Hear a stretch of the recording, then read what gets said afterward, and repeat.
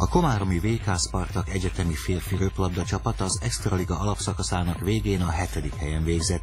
A folytatásban a táblázat első négy csapata a bajnoki címért küzd, míg az ötödik-tizedik helyen állók a további sorrendeket döntik el egymás között. A bajnokságnak ebben a szakaszában csapatunk idegenben vereséget szenvedett, Miava és Trencsin csapatától, de a hazai Zólyom elleni mérkőzésen győzelmet vártak a hazai szurkolók, a táblázat utolsó előtti helyén álló együttessel szemben.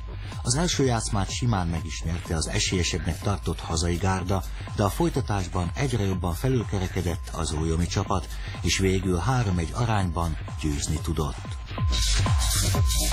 A napokban fogadta el a parlament a híd párt törvényjavaslatát, amely a fiatal családok előnyösebb lakáshoz jutását, illetve a lakásfelújítást teszi lehetővé, mondta sajtótájékoztatón Bastronák Tibor, a párt frakció vezetője. A 35 év alatti családra vágyó, friss házaspárok összesen 30 ezer euró hitelt igényelhetnek.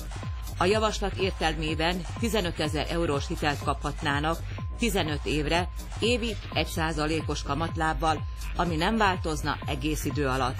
Ha gyermekük születik, akkor további 2000, legfeljebb azonban 6000 eurót leírhatnak ebből a biztosítékból. A törvény célja, hogy segítse azokat a fiatal házasokat, akiknek nem áll a rendelkezésére kellő összeg ahhoz, hogy új lakást vegyenek. A kosárlabda Extraliga hétközi fordulójában a komáromi csapat Handlová gárdáját fogadta hazai pályán. A táblázatban mögöttünk álló együttes az utóbbi négy fordulóban sorozatban győzni tudott, így nem csoda, hogy Komáromba is vérmestervekkel érkeztek.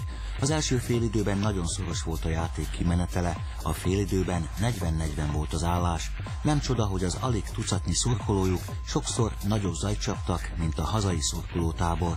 A második félidő már egészen másképp alakult. A hazai szurkolók nagy örömére csapatunk fokozatosan 15-20 ponttal is elhúzott, és a mérkőzést magabiztosan nyerte meg 89-72 arányban.